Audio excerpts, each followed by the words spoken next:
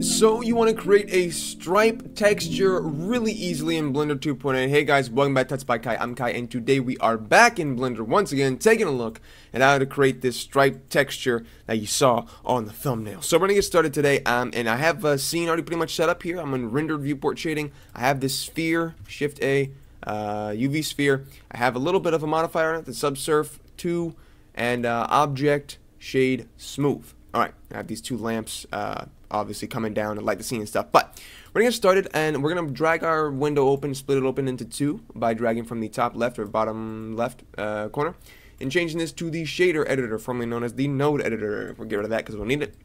And uh, now we have this Principled BSDF shader here, which is uh, nice.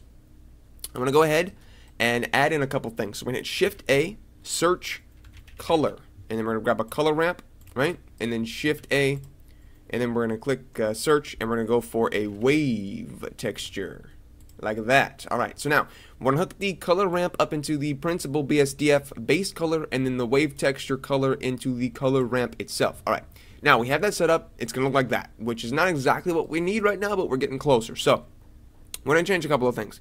I'm going to change the scale from 5 to 3 and the bands from bands to rings and you can see, once that's done, you can see we have a little bit of a, a, difference here, but we can change it even more by going from sine to saw. Now, we have all the things we need in place. You can see it's looking pretty good so far, but we can take this a step further by now adding the color that we need uh, with the color ramp node. You can see if I were to grab this guy, you can see that the uh, the color will change depending on where this line is at. So we can change this into colors by selecting this tab here and then going down to the black color and turning it into like a nice teal color. Now, you can see it is reflected over here on the right hand side. Let me turn my overlays off.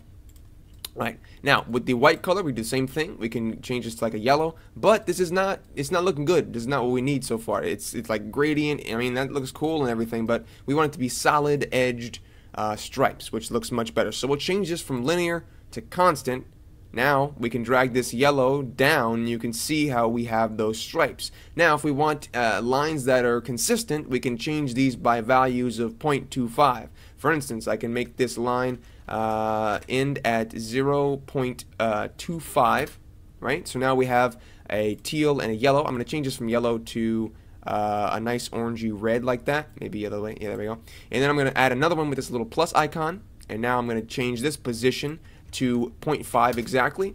Now we can change this color to, let's say, maybe we'll do this one as yellow, right? And then we can add another one, hit the plus icon, then we can change this one to 0.75.